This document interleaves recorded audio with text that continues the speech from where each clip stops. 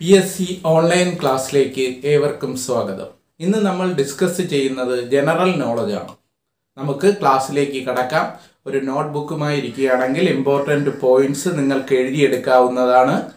നമ്മൾ ആദ്യമായി ഇന്ന് പഠിക്കാൻ പോകുന്നത് രണ്ടായിരത്തി ഇരുപതിലെ സാഹിത്യത്തിനുള്ള നൊബേൽ പുരസ്കാരം ആർക്കാണ് ലഭിച്ചത് എന്നതാണ് ക്വസ്റ്റ്യൻ ഓർക്കുക ക്വസ്റ്റ്യൻ ഇതാണ്. രണ്ടായിരത്തി ഇരുപതിലെ സാഹിത്യത്തിനുള്ള നൊബേൽ പ്രൈസ് ലഭിച്ചത് ആർക്കാണ്? Answer Louise Elizabeth Glück. ഓർക്കുക ലൂയി എലിസബത്ത് ഗ്ലിക്ക് എന്ന അമേരിക്കൻ കവിയാണ്. ഓർക്കുക ലൂയി എലിസബത്ത് ഗ്ലിക്ക് സാഹിത്യത്തിനുള്ള നൊബേൽ ലഭിക്കുന്ന പതിനാറാമത്തെ വനിതയാണ്. പി എസ് സി ഇങ്ങനെയും ഒരു ക്വസ്റ്റ്യൻ ചോദിക്കാം. എത്രാമത്തെ വനിതയാണ് ലൂയി എലിസബത്ത് ഗ്ലിക്ക്? ആൻസർ പതിനാറാമത്തെ. പതിനാറാമത്തെ വനിതയാണ് ലൂയി എലിസബത്ത് ഗ്ലിക്ക്.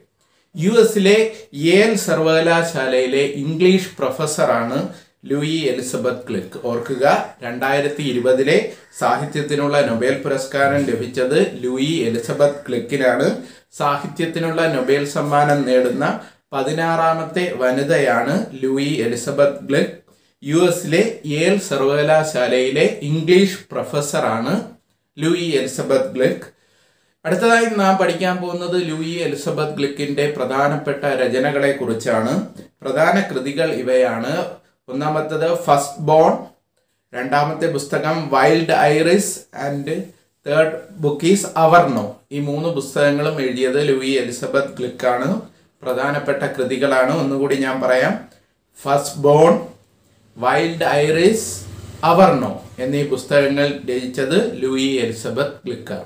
ഓക്കെ അടുത്ത ടോപ്പിക് നാം പോകുന്നത് സയൻസിലേക്കാണ് ഹൈഡ്രജൻ എന്ന വാക്കിന്റെ അർത്ഥം എന്താണ്? ക്വസ്റ്റ്യൻ ഇതാണ്. ഹൈഡ്രജൻ എന്ന വാക്കിന്റെ അർത്ഥം എന്താണ്? ഉത്തരം ജലം ഉൽപ്പാദിപ്പിക്കുന്നത് എന്നാണ്. ജലം ഉൽപ്പാദിപ്പിക്കുന്നത് എന്നാണ് ഹൈഡ്രജൻ എന്ന വാക്കിന്റെ അർത്ഥം.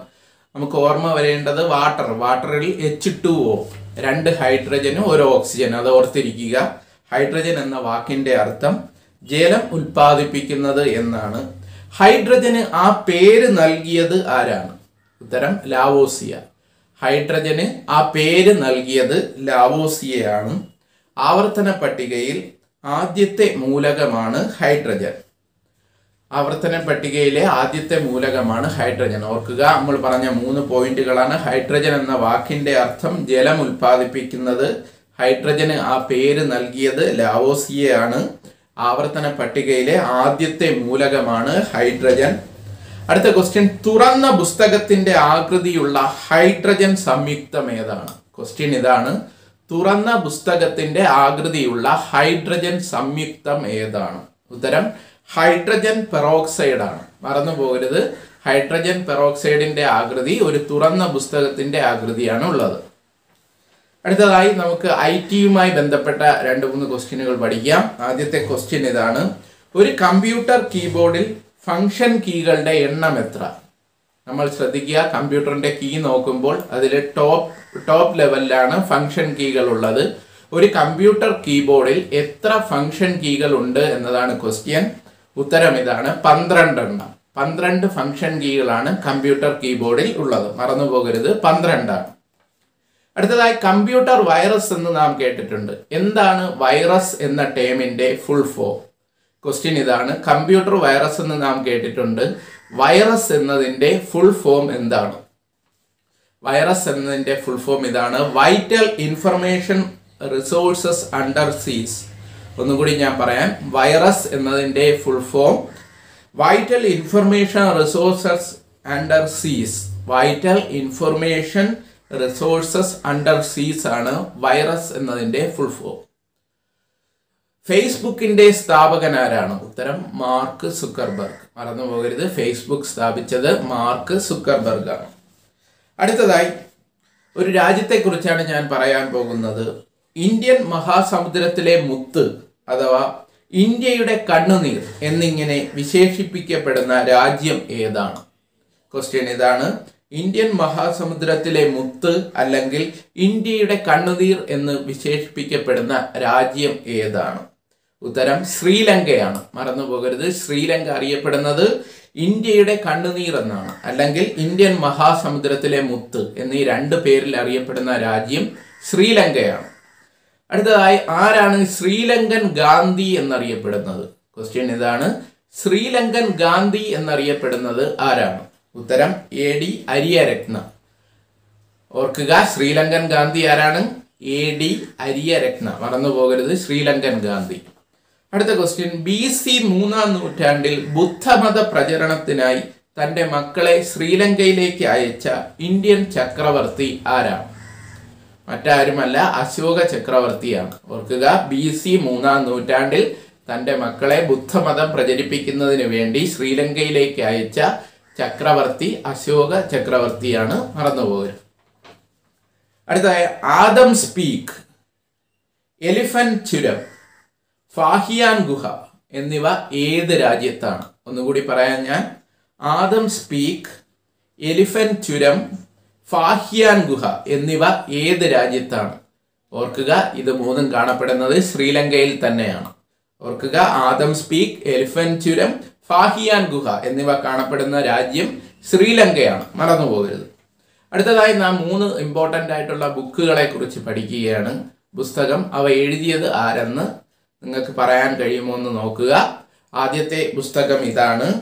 Letters to mother letters to mother എന്ന പുസ്തകം എഴുതിയത് ആരാണ്? ഉത്തരം അറിയാമോ? ഓർക്കുക ക്വസ്റ്റ്യൻ ഇതാണ്. ലെറ്റേഴ്സ് ടു മദർ ഓർക്കുക ഇതിന്റെ ഉത്തരം ലെറ്റേഴ്സ് ടു മദർ എന്ന പുസ്തകം എഴുതിയത് നരേന്ദ്രമോദിയാണ്. മറന്നു പോകരുത് നരേന്ദ്രമോദി. അടുത്തതായി ലക്ഷക്കണക്കിന് കോപ്പികൾ വിറ്റഴിച്ച ഒരു മലയാളം നോവലാണ്. നോവലിന്റെ പേര് ഇതാണ് ഒരു സങ്കീർത്തനം പോലെ എന്ന പുസ്തകം രചിച്ചത് ആരാണ്? നിങ്ങൾക്ക് എല്ലാവർക്കും അറിയാം ഒരു സങ്കീർത്തനം പോലെ എന്ന പുസ്തകം ലഭി രചിച്ചത് പെരുമ്പടവൻ ശ്രീധരനാണ്. ഓർക്കുക പെരുമ്പടവൻ ശ്രീധരന്റെ പ്രശസ്തമായ ഗ്രന്ഥമാണ് ഒരു സങ്കീർത്തനം പോലെ അടുത്തതായി ഒരു നിരൂപണ ഗ്രന്ഥത്തെക്കുറിച്ചാണ്. ഖാൽസയുടെ ജലസ്മൃതി. പുസ്തകത്തിന്റെ പേരിതാണ് ഖാൽസയുടെ ജലസ്മൃതി എന്ന ഗ്രന്ഥം രചിച്ചത് ആരാണ്? ഉത്തരം ആഷാമേനോൻ ആഷോ ആഷാ മേനോൻ രചിച്ച പുസ്തകമാണ് ഖാൽസയുടെ ജലസ്മൃതി. അതുപോലെ ജീവന്റെ കയ്യൊപ്പ് എന്ന പുസ്തകവും രചിച്ചത് ആഷാ മേനോനാണ്. ഗുരുസാഗരം രചിച്ചത് ഒ വി വിജയനാണ്. മറന്നുപോകരുത് ഗുരുസാഗരം എന്ന പുസ്തകം രചിച്ചത് ഒ വി വിജയൻ. അടുത്തതായി ലോകത്തിൽ ആദ്യമായി വിവരാശ വിവരാവകാശ നിയമം പാസാക്കിയ രാജ്യം ഏതാണ്? ഉത്തരം സ്വീഡനാണ്. മറന്നുപോകരുത് സ്വീഡനാണ് ലോകത്തിൽ ആദ്യമായി വിവരാവകാശ നിയമം പാസാക്കിയ രാജ്യം.